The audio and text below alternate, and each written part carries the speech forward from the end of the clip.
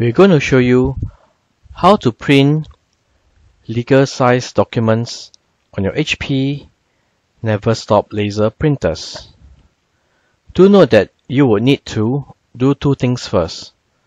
Number one, update the firmware version to the latest with a date code of 20190717.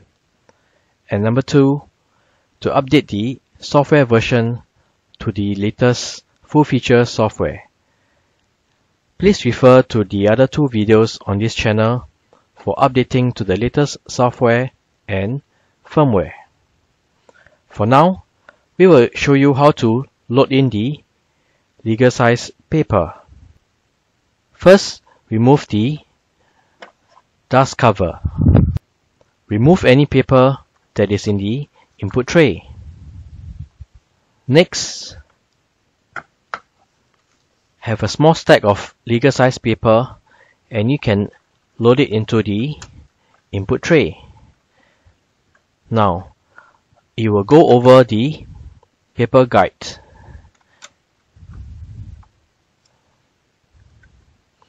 Make sure that the paper guide or the width adjuster touches the legal size paper. This is one way of loading the legal size paper.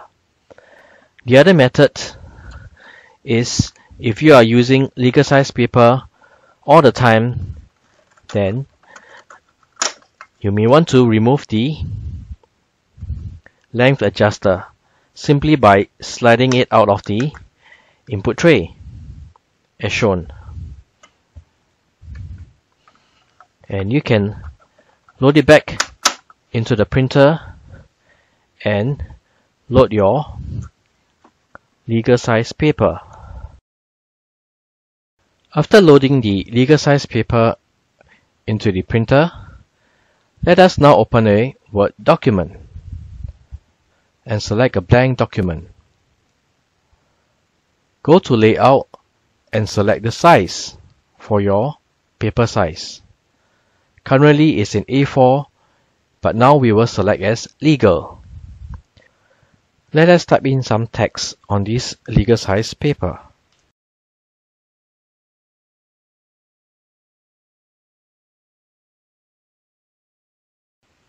We will now print this document. Go to File, Print. Make sure that the HP Neverstop laser printer is being selected and go to Print.